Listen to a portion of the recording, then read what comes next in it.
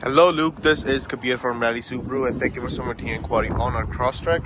Just want to do a 360 walkthrough video. I want to show you how the new Crosstrek looks from inside and outside. So this is the new design. This is an Onyx trim level, so you get the blacked out rims. Now Onyx also gets you the power seats, sunroof on the top.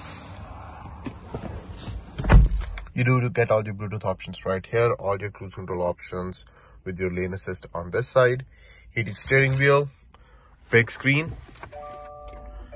You do get wireless charger down there automatic transmission heated seats.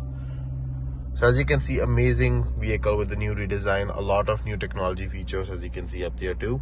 If you if you have any other questions or concerns feel free to call me back at 780 989 0700 thank you